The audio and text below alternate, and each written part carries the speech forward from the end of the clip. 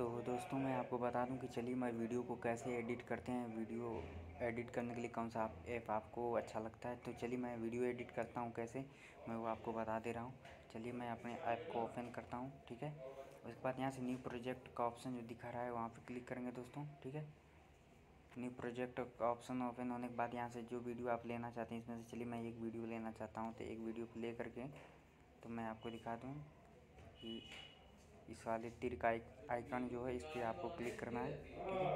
उसके बाद क्लिक करने के बाद दोस्तों, आपको अगर वीडियो को मतलब फुली डिस्प्ले करना चाहते हो तो चलिए मैं आपको ये ये जो इसको स्लाइड करके आपको दिखा दे रहा हूँ, ये स्लाइड आप करेंगे तो इस तरीके का आएगा।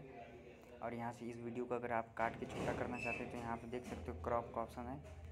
क्रॉप के ऑप्शन पे क्लिक करेंगे, उसके बाद यहाँ से क्या करना है आपको, जिस हिसाब से साइज़ से बनाना उस हिसाब से साइज़ से आप इसे बढ़ा सकते हो, उसके बाद यहाँ से सही निशान का ट्रिक देख सकते हो आप। सही का ट्रिक यहाँ है तो आपको इस पर क्लिक करना है। उसके बाद ये वीडियो कट चुका है दोस्तों, चलिए।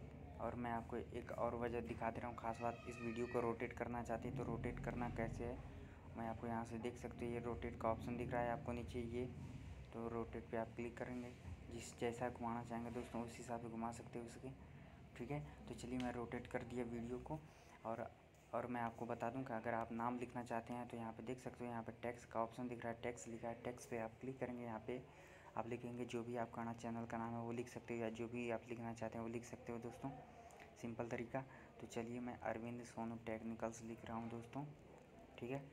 और दोस्तों आपको वीडियो कैसा लगा आप ये हमारे चैनल को सब्सक्राइब ज़रूर कीजिएगा और कमेंट बॉक्स में बताइएगा, ठीक है? और भी आपको किसी भी प्रकार के आप इसको आप छोटा करना चाहते हो तो यहाँ से देख सकते हो छोटा बड़ा जैसे साइज़ या घुमाना चाहें, जैसे करना चाहते हैं आप कर सकते हो। तो चलिए मुझे जैसे करना था मैंने कर लिया दोस्तों। और उसके बाद आपको इस चाहते हैं जो आपने लिखा है टेक्स्ट किया है, इसको आप लंबा चाहते हैं तो ये स्लाइड करके इसको खींच के लेके जाना है दोस्तों पूरा वीडियो तक। ठीक है, जहाँ तक आपको अच्छा लग रहा है, जहाँ तक करना चाहते हो आप वहाँ तक ये खींच सकते हो। ठीक है तो आप ये पूरा खींच सकते हैं। तो चलिए मैं आपको खींच के दिखा दे रहा हूँ ये पूरा लंबा कर दे रहा हूँ। मतलब आपके वीडियो, फुल वीडियो में ये आपका लिखा हुआ नाम जाएगा कि जो आपने लिखा है, ठीक है? तो इस हिसाब से दोस्तों बहुत ही आसान तरीका है। तो चलिए हम आपको दिखा दे रहे हैं करके, ठीक है? तो आप दोस्तों इस तरीके से पूरा वीडियो में खींच सकते हो। और इस वीडियो को सेव कैसे करना है? तो दोस्तों, इस वीडियो को सेव कैसे करना है? चलिए, वो भी हम आपको बता दें। यहाँ पे देख सकते हैं तीर का आइकन जो दिख रहा है आपको, इस पर क्लिक करना है।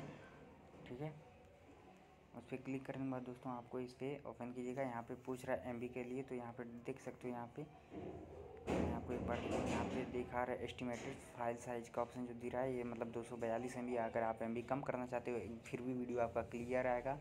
आप यहाँ साइज़ कम सक, कर सकते हो सात सौ बीस कर देना। यहाँ पे ये तीस एफ़ एफ़ सी का जो दिखा रहा है एफ़ पी एस का ठीक है? तो वो यहीं सही है ठीक है? उसके बाद यहाँ पे सबसे नीचे देख सकते हो क्वालिटी पे जो हाई लिखा है हाई को आप कम करके मीडियम पे कर दीजिएगा। आपकी एमबी जो है आप देख सकते हो फ़ाइल साइज़ में बयासी एम दिखा रहा है ठीक है? तो आपको इतने पे ही आपका वीडियो फिर भी बहुत ही क्लियर आएगा साफ़ आएगा ठीक है? तो आपको सेव कर देना ठीक है?